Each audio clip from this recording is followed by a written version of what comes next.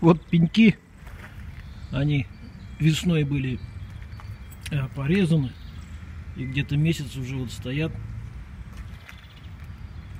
В общем, ростки уже появились на них.